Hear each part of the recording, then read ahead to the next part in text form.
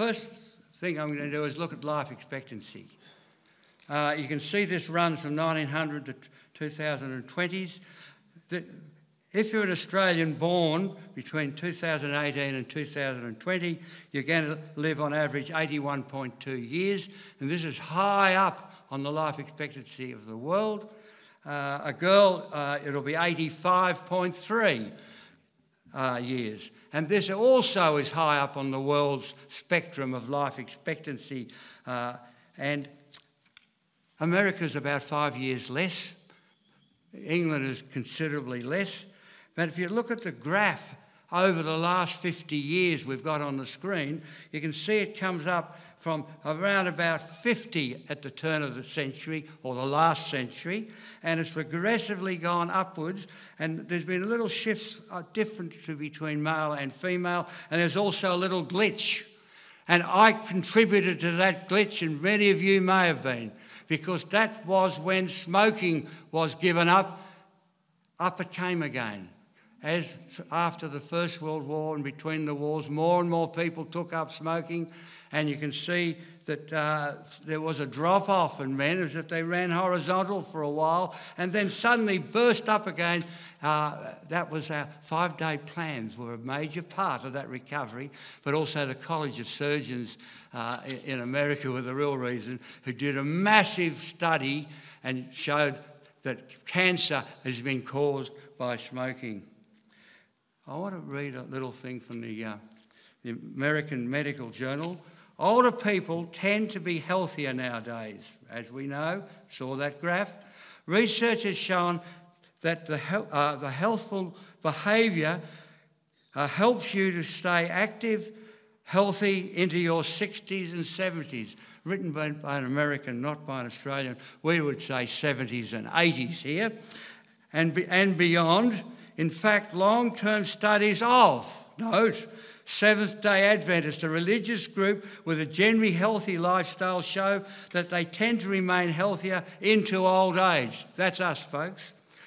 Their life expectancy is nearly 10 years longer on average than most Americans. And remember, this is coming from the medical journal. The Adventist age enhancing behaviours include regular exercise, I hope we're having it here. A vegetarian diet, I know not completely, but I recommend it heavily. Avoiding tobacco and alcohol, and maintaining a healthy weight. And the alcohol part today, what I'd like to make an emphasis.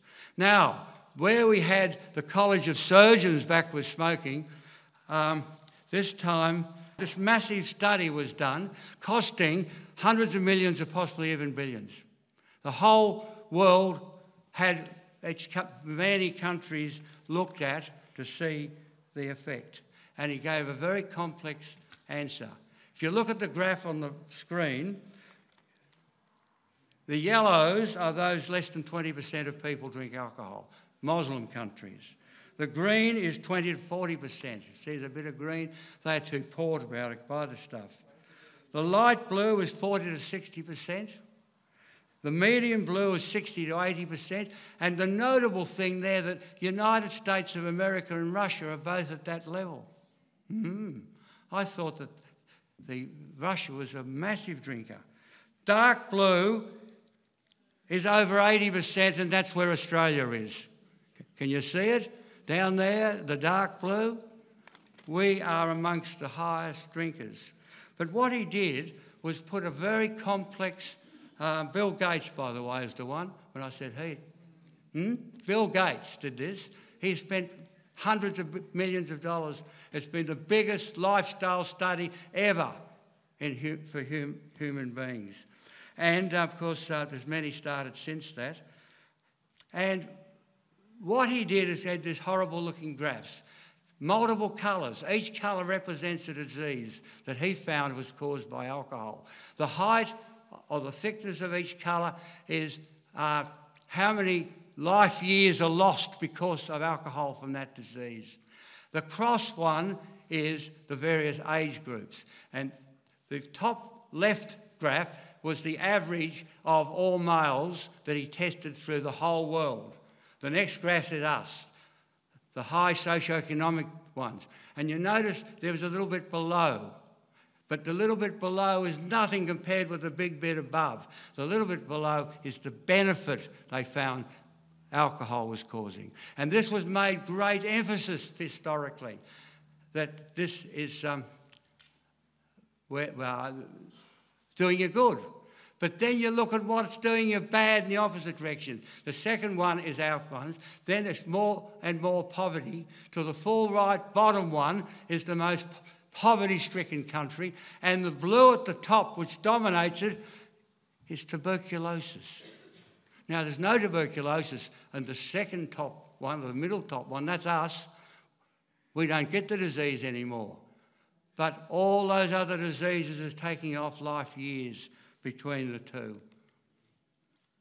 Right, the, the, the um, England came out with a, uh, a, a, a, little contribution, and if you look at the English one, there are little circles, and circles get bigger and smaller. Now, I can hardly read them here, uh, and uh, I haven't got the actual. Oh, here we are. The top one is mouth and upper throat. Next little one is larynx. When I was training to be an ear, nose, and throat surgeon, working, taking people's larynxes out for cancer, the, our um, uh, surgeon used to saying, ah, this has been caused by smoking. This is after the College of Surgeons. But I said every one of these, when I did the, the workup for them, they're all drinking alcohol. Which is it, smoke or alcohol? Oh, no, it's not alcohol, it's smoking. They all drank, didn't they? Now they know that it is both. Smoking and drinking alcohol causes cancer of the larynx. Then esophagus. Then the tiny little one is uh, liver. Now, uh, Derryn Hinch known here. Melbourne, everyone knows Derryn Hinch. He was a federal politician. He drank himself to liver failure and cancer of his liver. They took his liver out and they put another person's liver in you think he'd be grateful he went back straight back to drinking again. All right, and the big one at the bottom is bowel. Oh no, uh, I didn't make the, the, the third one up is breast. Totally unknown up to this point in time that alcohol is a major cause of breast cancer. And when all these results came out, our uh, anti cancer organisations had made the most superb anti alcohol ads you can imagine. And they were going to play them over the media. Have you seen any of them? Yes, you have. You've seen two. One is against breast cancer, you may see one of them a year. And the other one is for if you think, even think of getting pregnant, don't drink because it damages the fetus. You've seen that one.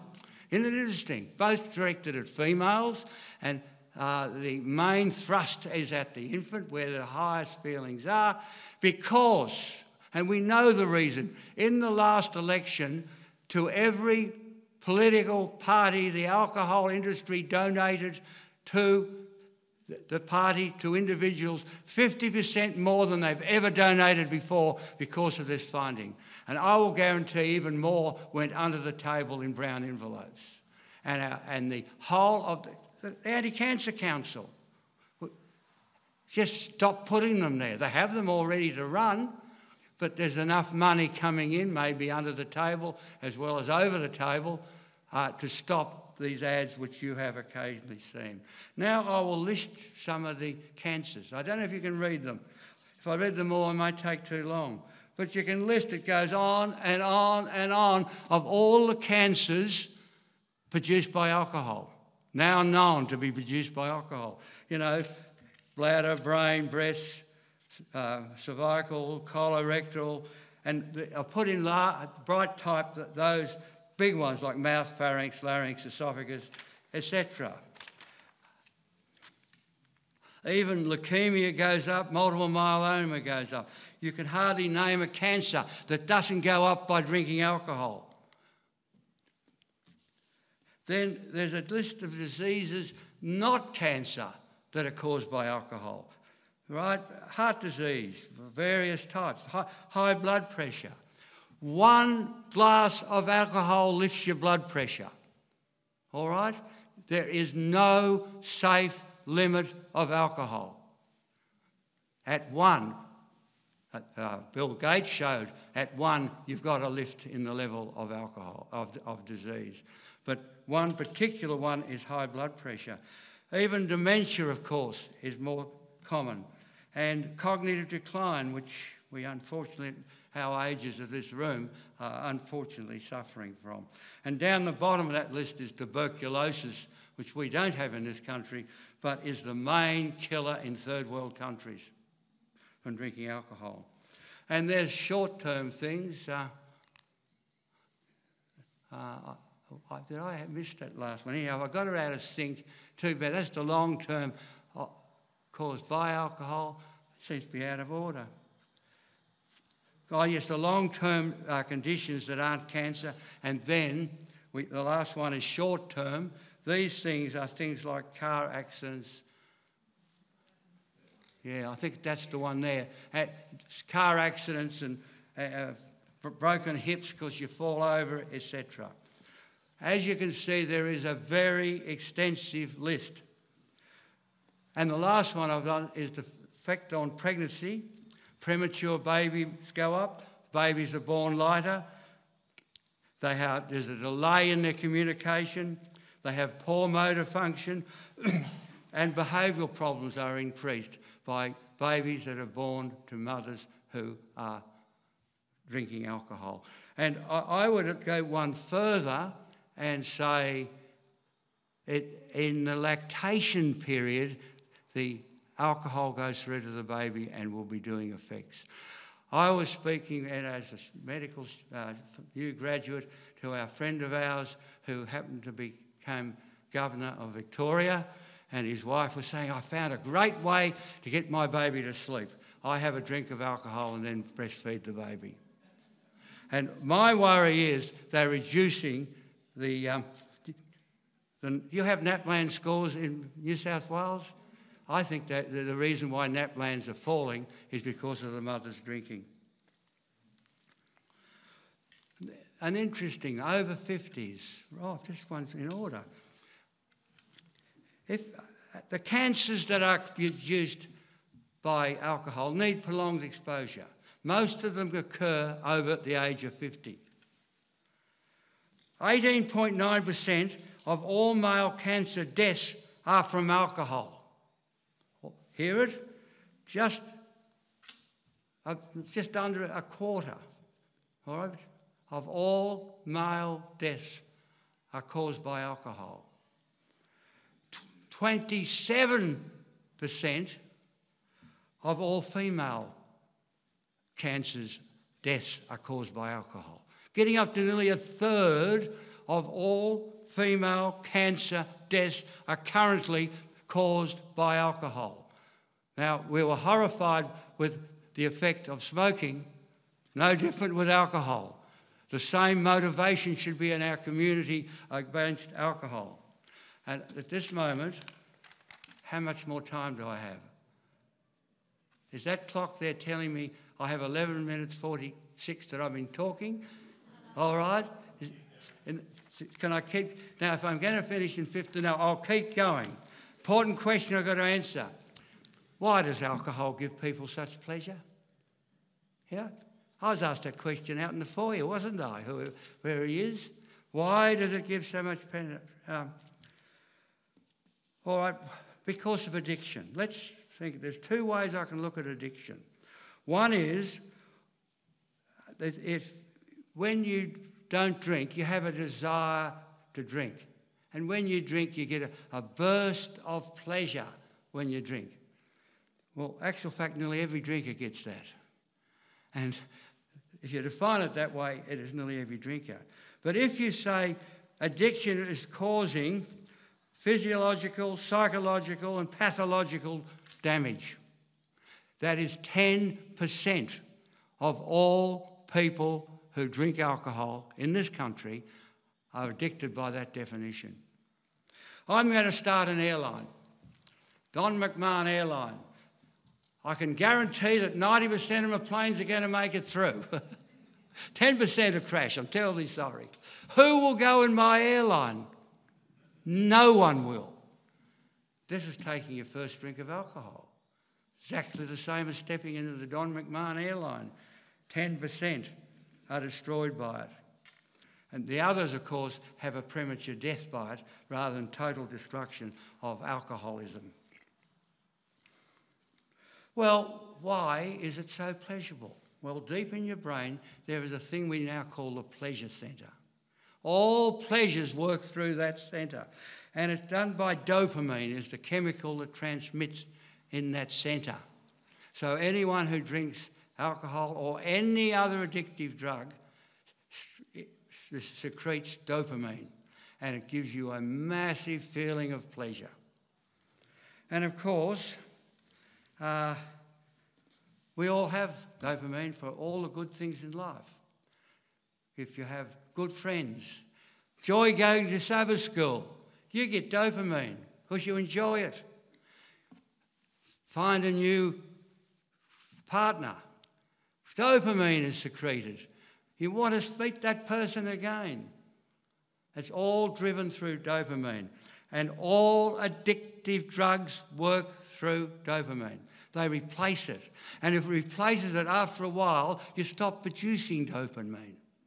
And so, with a, in, in a point comes where without the addictive drug or behaviour, you, you feel absolutely flat and horrible. And you take a little bit of the drug or behaviour, oh, you feel wonderful again. That is what addiction is all about. Now, all drugs of addiction have other side effects that do damage. Yes, they give you pleasure. Have you seen with alcohol? The list of diseases now we know are caused by alcohol. And uh, all these drugs do some other things. And even behaviour, th- uh, dopamine that does other things. Like opioids are marvellous for giving, relieving pain, but they're addictive as well on dopamine, and they have all the side effects of we do of the opioids. I'm going to say even caffeine is addictive. I'm sorry for those here, which most probably is the biggest majority. Caffeine is addictive. Of course, water is addictive. Do you know that? Yeah. If I was out in the Simpson Desert and my vehicle broke down, and I would be spreading my water out very carefully, wouldn't I? And when it's all gone, what will I be doing? The whole of my life would be looking for water. Now, alcohol's the same. If you withdraw your alcohol, the whole of your life gets orientated to satisfy that need you have in your brain for dopamine. There's a problem with alcohol. It progressively knocks part of your brain out. Yes, the first is pleasure, but it uh, starts knocking out other parts of your brain. The prefrontal cortex is the next to go. That's where your moral code is and your decision making of what's right and what's wrong. Like your decision to only have one glass of alcohol and you knock out the prefrontal cortex and you can't keep stop drinking. You lose that desire. Then the cerebellum goes and you get unsteady. All right. Then the hippocampus goes, your memory goes, and finally you stop breathing.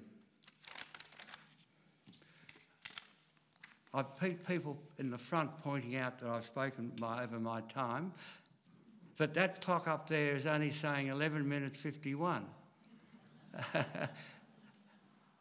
it, it's still, yeah.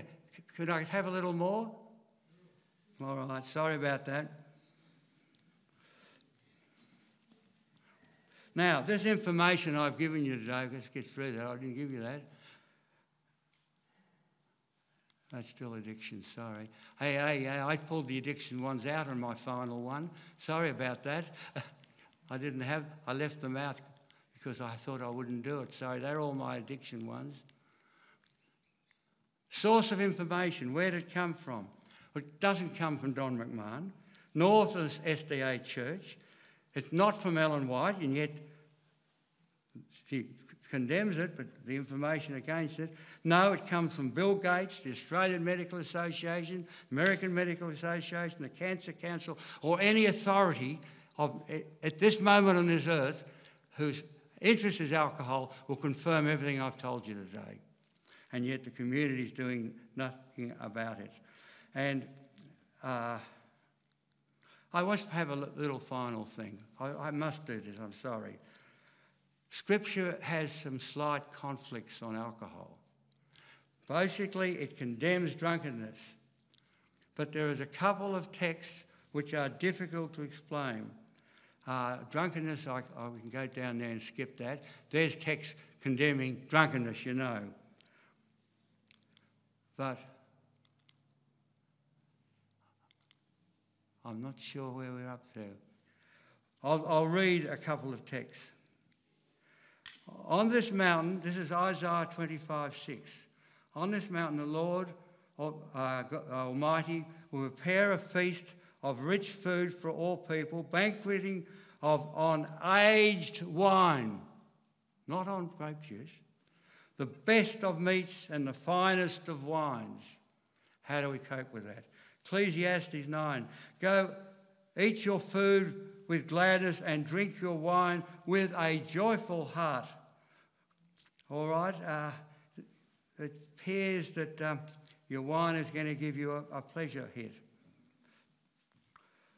Luke 5:39 and no one after drinking old wine wants new for they say the old is better and that was Christ talking. And that worries me a lot until I take into consideration the culture. The culture at the time is they couldn't produce alcohol any higher than 2.5%, as told me by Andrews University. That is, red wine, current red wine is 13.5. You've got to drink about five times as much now to get the same, uh, then to get the same effect as now. All right, it was massively more needed. But they weren't a society that could produce fruit and vegetables all the year round. They weren't a society that can transfer fruit and vegetables from one side of the world to the other. I was at Mildura in Victoria with an Adventist family picking grapes. They were being frozen, put in nitrogen atmosphere, put in a crate, taken to Adelaide, put on the Ghan's line, up to Darwin, onto a ship, into Indonesia, and the market in Indonesia, still fresh grapes. They could not move food any faster than a camel or a very slow sailing ship. Therefore, therefore, there's large parts of the season when they lacked phytochemicals. And this low alcohol level still preserves the phytochemicals, and which is the best? Nutrition or level of alcohol which is at a point where it's reasonably hard to be fully addicted at. Speaking to a, a, my son in law's father, who was on the island of Lustaford in the middle of the Adriatic, prior to the West uh, or the world bringing in stuff by ship, quickly they had to grow all their own food, their own wine, and there were no alcoholics apparent on the island. But the instant that the high alcohol drinks came in from outside, it's filled now with alcoholics. And I believe the scriptural texts that appear to be a little soft on alcohol are no different than the texts that say, spare the rod and spoil the child. Or no different than the texts that say, how you treat your slave. It is all culturally orientated and in today's lesson.